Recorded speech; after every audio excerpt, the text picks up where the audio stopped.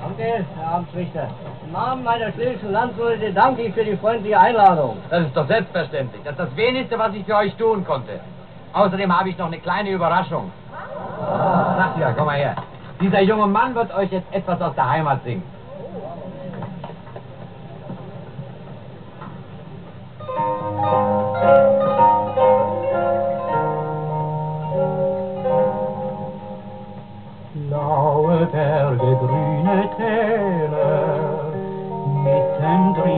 Häuschen klein.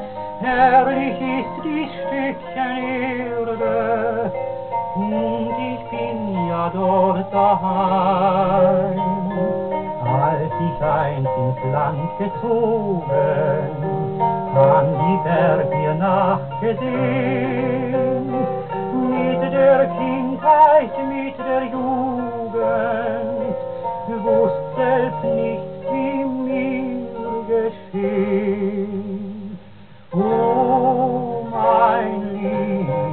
Riesengebirge, wo die Elbe so heimlich rinnt, wo der Liebeszahl mit seinen Zwergen heut noch Sagen und Märchen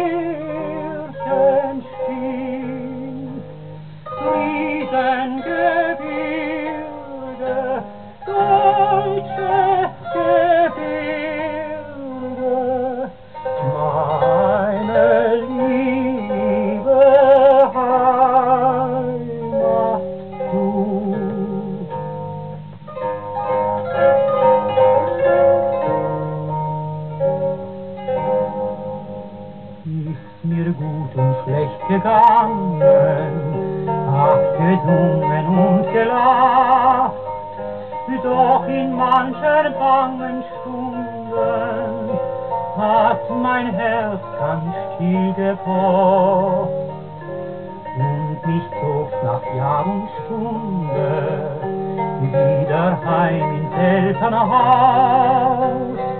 Hielt nicht mehr vor lauter Sehnsucht bei den fremden Leuten aus.